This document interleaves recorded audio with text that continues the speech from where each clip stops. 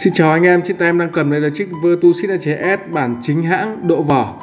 Chiếc điện thoại này là được kết hợp giữa màu đen và màu trắng gọi là Vertu Signature S Black and White. Giữa màu trắng và màu đen sẽ tạo nên sự vừa sang trọng vừa khỏe khoắn.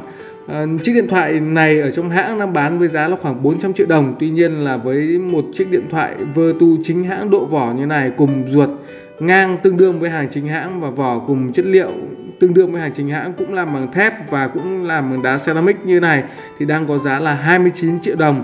Tuy nhiên là chỉ trong hôm nay TN Mobile bán giá khuyến mại cho anh em với giá chỉ có 19 triệu đồng thôi.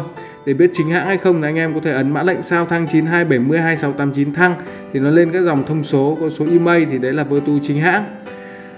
Một chiếc điện thoại này sẽ giúp cho anh em có được đẳng cấp và thể hiện được cá tính mạnh mẽ. Nếu mà anh em đã sở hữu ô tô rồi, nếu anh em đã có thu nhập trên 30 triệu đồng một tháng hoặc là nếu anh em đã từng dùng điện thoại Vertu sang trọng rồi hoặc là anh em đã từng dùng Nokia 8800 rồi nhưng mà nó bị đứt cáp nhiều hoặc là anh em uh, đang dùng nhiều sim điện thoại hoặc dùng hai chiếc điện thoại iPhone hoặc là bạn bè có Vertu nhưng anh em không có thì anh em hãy sở hữu ngay cho mình chiếc điện thoại Vertu này.